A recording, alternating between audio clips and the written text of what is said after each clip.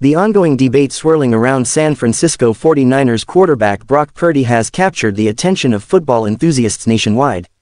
Despite the team's considerable success with Purdy at the helm, there's a persistent question mark hanging over his role in their victories.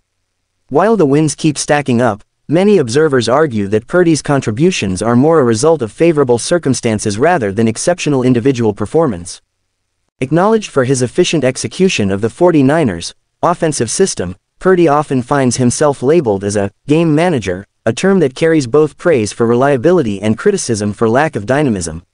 Notably, former league MVP Cam Newton weighed in on the discussion, affirming Purdy's status as a game manager during an appearance on The Dan Patrick Show.